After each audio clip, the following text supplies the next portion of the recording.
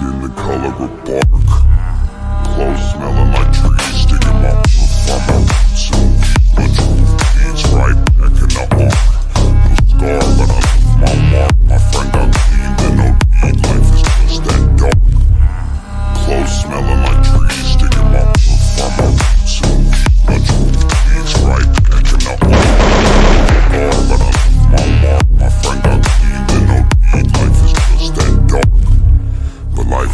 that bright that when the